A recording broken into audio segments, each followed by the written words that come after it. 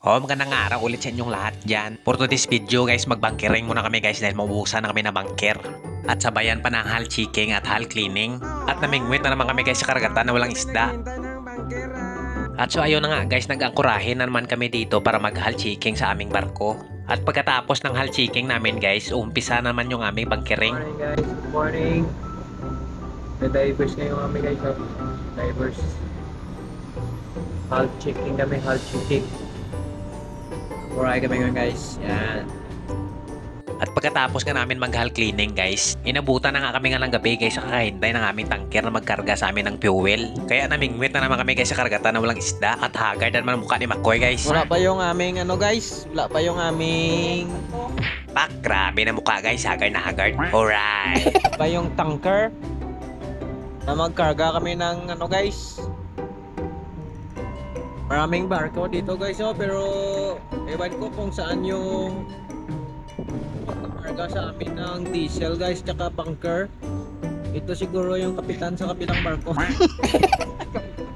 Kaya habang naghihintay na bunker barge guys, namingwit muna kami dito sa karagatan ng walang isda. Iwan ko nga guys anong klaseng karagatan to dahil walang mga isda dito. Ang tagal-tagal na namin mamingwit dito, wala pa rin kaming nahuhuli. Kanina pa kami dito guys, wala kaming huli guys.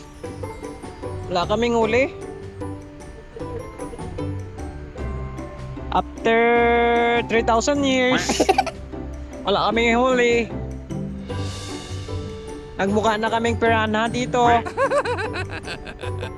Mga isda siguro dito piranha guys. Hard to get. Hard to get. Yung parang ex mo na hard to get.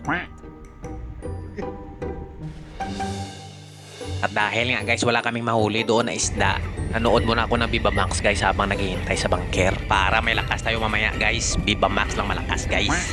Oh, dahil wala kaming mahuli. Yan na kayo mga isda kayo. Parang washing kayo dyan. Oh, sige. At so ayun na nga guys, may bagong balita na naman nalilipat naman yung aming barko. Kaya bubunot na naman kami ng angkla guys para makaalis na naman kami.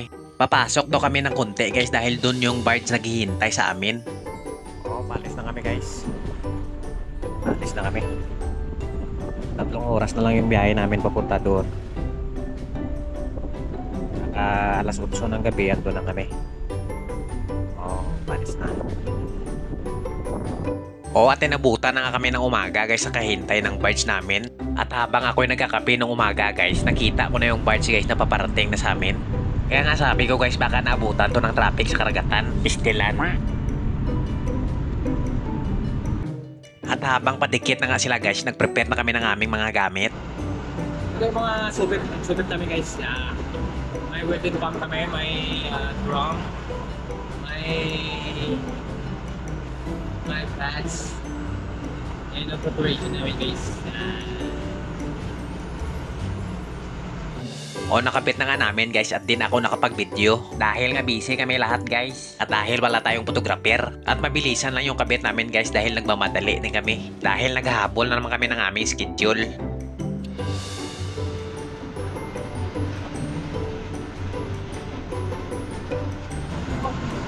Ayan na guys, oh. Nagbabangkering namin guys. Nagbabangkering namin guys. Nag-start namin guys, oh. At so ayun na nga guys, nagsimula na yung pagkarga ng fuel sa aming barko. At inaabot kami ng apat o limang oras guys sa pagkarga. Kaya tamang bantay lang dyan si Makoy guys. Dahil kung mag-leaking yan guys, mag-oil spill talaga dito. At baka mapauwi pa kaming lahat. Kaya todo bantay si Makoy guys dahil takot niya mapauwi guys. Dahil maraming utang pa yan si Makoy guys na hindi na nabayaran. Dahil mayroon pang sasakyan at lupa na binabayaran si Makoy guys. Ganyan ka ambisyoso si Makoy guys. At baka niya guys, bibili na ng iPhone yan. iPhone 21 bibilihin natin guys. In my dreams naman guys eh. Oo, ganyan ka-secure si Makoy guys. Dalawang radyo yung hinawakan niya. Ito palang radyo na hinawakan ko guys para to sa barge. Dahil in case na mag-leaking guys, tatawag na lang ako sa barge para may para yung motor. Ah, siyempre guys, di mawala yung radio yan guys. Yan, kailangan natin mo radio guys. In case nga may leaking. Diretso tawa guys. Oh. Oh, time check guys is 10.70. Simula kami ng 8 8 p.m. Post connected and start the pump. At so ayun na nga guys, patapos na kami dyan guys, wala na paligoy-ligoy guys. At syempre hindi tayo nakapag-video guys sa pagtanggal ng hose guys. Dahil nga wala tayong photographer guys. Reason naman to ni Makoy guys. Kaya pagbigyan nyo na lang guys. Hanggang dito na lang tayo muli guys. See you in my next video guys. Babush!